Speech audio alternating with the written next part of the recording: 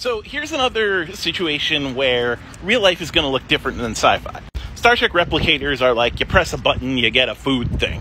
We have something like that. There are companies that are 3D printing meat and vegetables. But it's not going to look like, you know, converting energy into subatomic particles that make up a food. Honestly, that's just not particularly efficient. You would need a ludicrous amount of energy to make even one particle.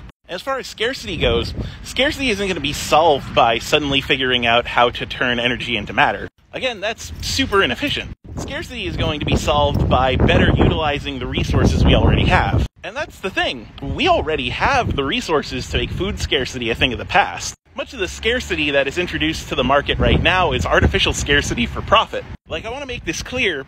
We ask farmers to burn crops here in America we throw out food that doesn't look great but isn't spoiled.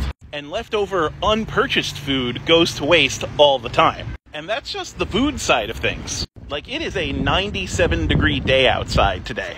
And all this latent heat energy that is making me miserable while walking my dog could be harnessed to power devices. We can do better jobs collecting and purifying rainwater or harnessing wind power. And then that energy could be put toward manufacturing processes with the resources we already have. Like, what I'm trying to say is, we are nowhere near replicators. Replicators aren't going to solve our scarcity problem. Rather, if we're going to get to replicators, we need to solve our scarcity problem first. And that's what's going to let us advance our tech to that scale.